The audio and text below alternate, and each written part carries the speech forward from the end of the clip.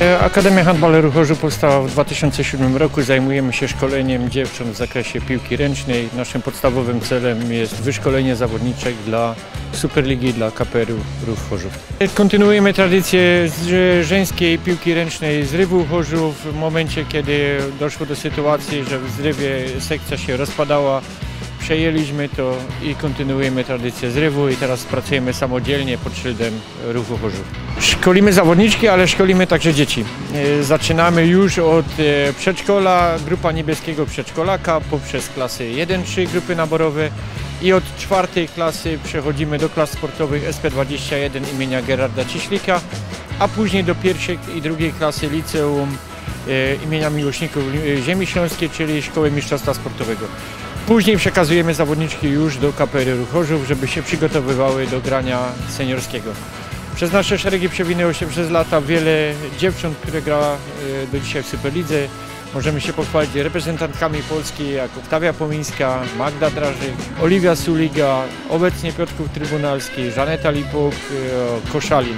Pierwszy zespół ruchu Chorzów e, KPR-u, też oparty w większości o nasze zawodniczki. Tutaj wystarczy przypomnieć Monikę Ciesiłkę, Natalię Stojkowiec, Natalię Doktorczyk, Klaudię Grabińską, e, Nadię Bury, Natalię Kolonko. To wszystko nasze, nasze wychowanki, czy Dominika Nimsz również.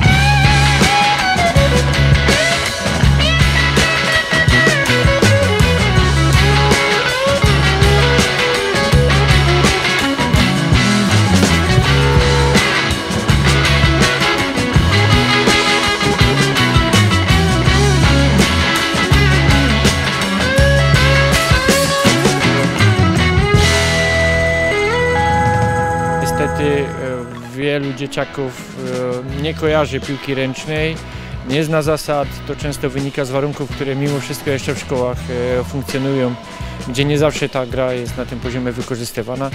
E, Druga rzecz, no dzisiejsza młodzież trzeba mocno zachęcać do tego, żeby uprawiały, uprawiała ciężki sport, e, jakim na pewno jest e, piłka ręczna, wymagająca wiele wysiłku i poświęcenia.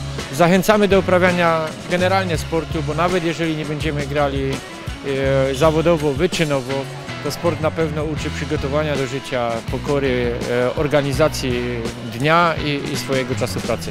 Zawodniczki Akademii występują od klasy czwartej w rozgrywkach ligowych e, pod szyldem Związku Piłki Ręcznej organizowanych. To są rozgrywki wojewódzkie. My kończymy na e, etapie juniorki młodszej.